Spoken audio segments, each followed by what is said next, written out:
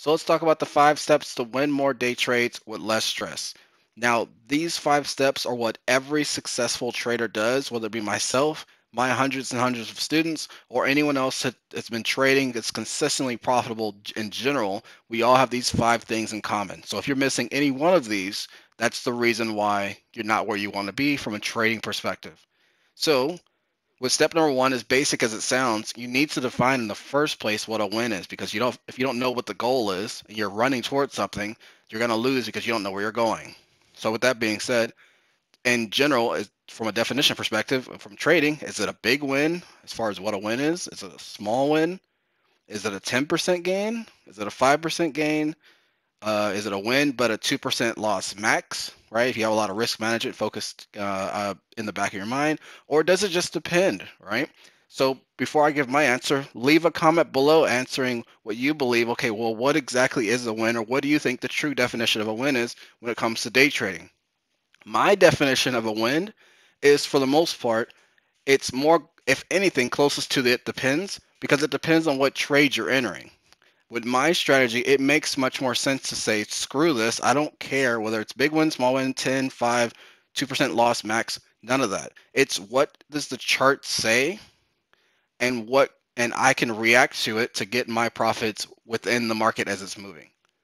So if the market's going to give me 5%, cool, I'll get out at 5. If it gives me 4.5%, great, I get out at 4.5. I'm not going to arbitrarily stay in because I want a 5% gain. It's at max of 4.5% and it won't go up any higher uh, because or I just want a big win, but it's the market's giving me a small win. I'm up in profit. Get the heck out, right?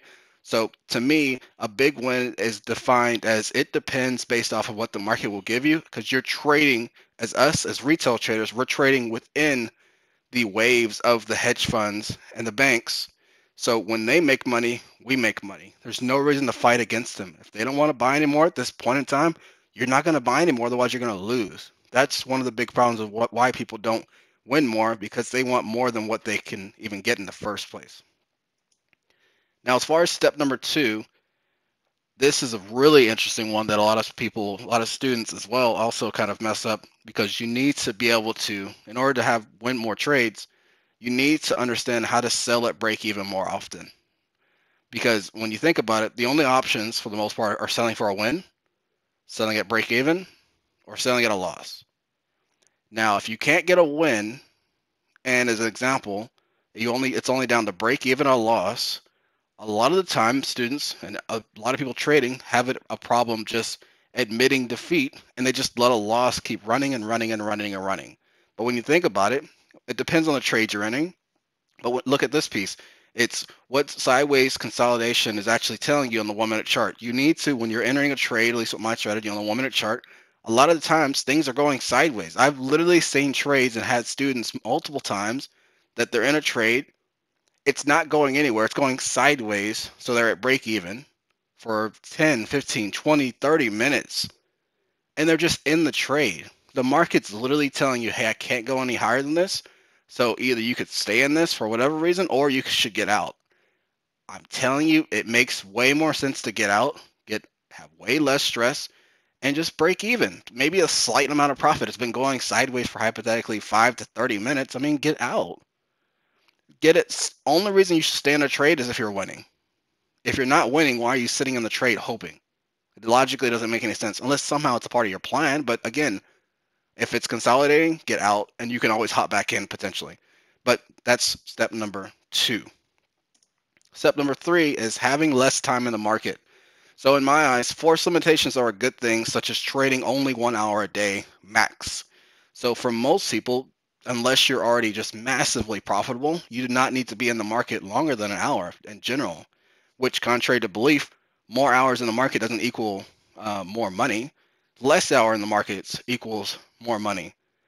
The reason why is because if you have an example, alarms actually on your say thinkorswim platform it forces you to focus on more quality trades so maybe one two trades max per day instead of a quantity amount of trades logically thinking, it's a lot easier to find one good trade versus, let's say, 20 different trades at the same day. Because you could, out of those 20, you could say, okay, which one of these will I go ahead and shoot for to potentially make a win off of. It's easier and it's less stress. Again, hence the whole purpose of this whole video. So you don't need a lot. And put it in a different frame of reference. For, uh, as far as force limitations, some of my students that are the best students are the ones that have a full-time job because they only have maybe lunchtime or the morning one hour or 30 minutes or whatever it is to make a trade. So those limitations force them to be more successful because they're more picky. And some of the students that struggle the most or even outside of my program but some of the people that struggle the most are the people that say okay hey i'm unemployed. I have nothing to do but i have some money. Let me see what i can do in the market. No you have way too much time. If you're staring at the chart or for over an hour. Some people stare at the chart for five hours. You're just going to start seeing things that are hypothetical plays, trying to take plays.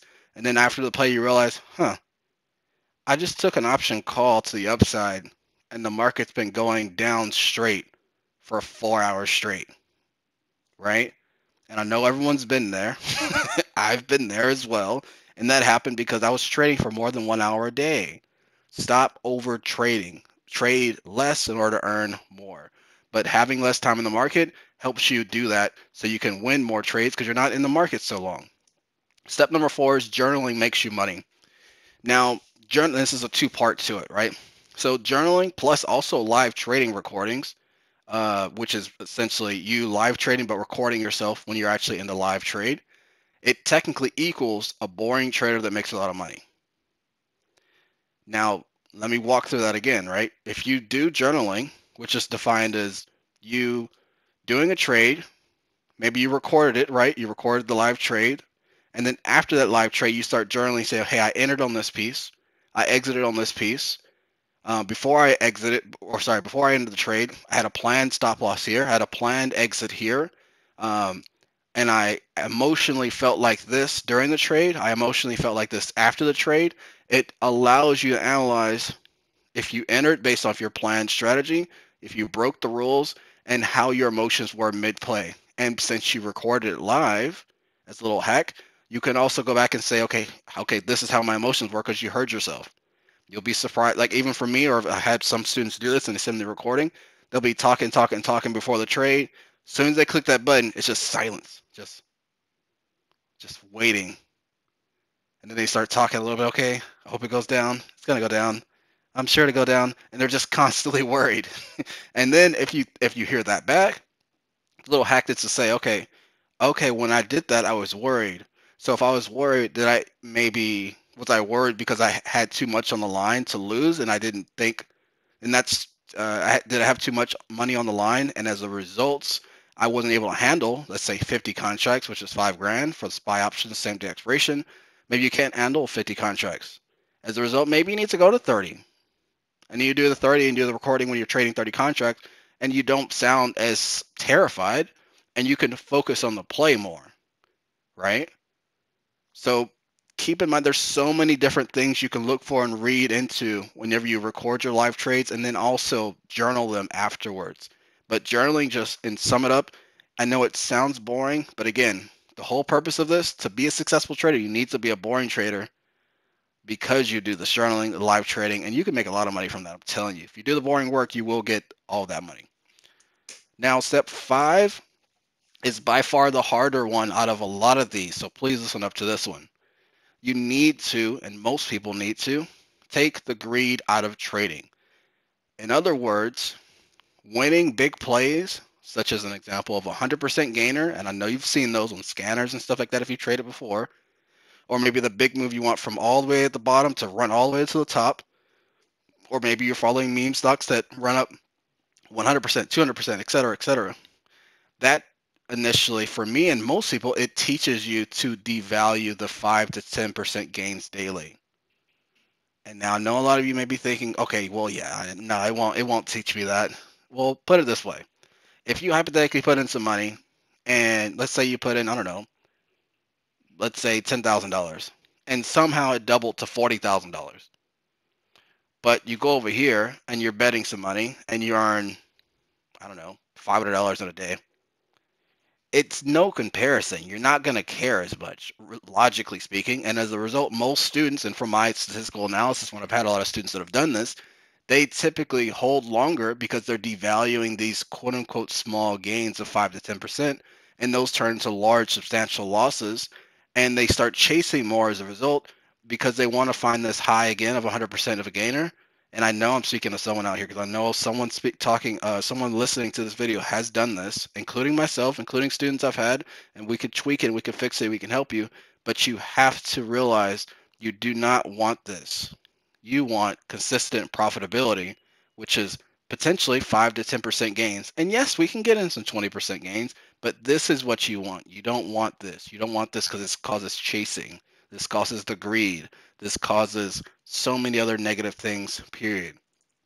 But in general, that's the five steps to win more day trades with less stress. And again, this is literally what every successful trader does. And if you realize it, I didn't even necessarily get into technical analysis on this video at all because that's a part of it. But the biggest part about trading is the psychology of how your mindset is. Because all of this has nothing to do with this. This is a planning step. This is, uh, what is it, break even just from a logical step. You're like, I don't want to stay in the trade. It's all no technical analysis. It's just psychology.